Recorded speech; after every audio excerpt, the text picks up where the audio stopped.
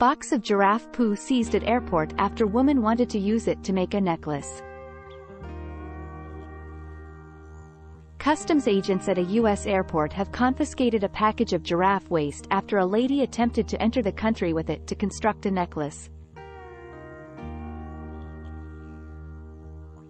Upon being chosen to have her belongings searched upon her arrival at the Minneapolis-St. Paul Airport in Minnesota on September 29, the woman had disclosed the little package of feces, according to U.S. Customs and Border Protection.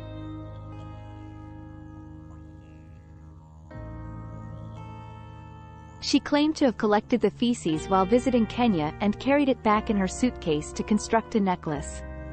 The Iowan woman claimed to have previously created a necklace out of moose feces.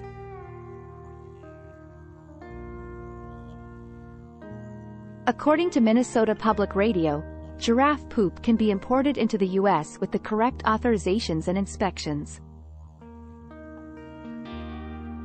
The woman disclosed the feces and submitted it to customs officials, according to the station, therefore she won't face punishment. The giraffe waste was eliminated by the agency's agricultural experts.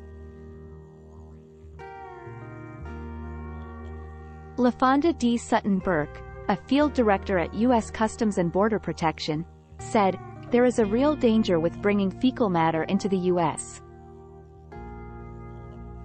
If this person had entered the U.S. and had not declared these items, there is high possibility a person could have contracted a disease from this jewelry and developed serious health issues.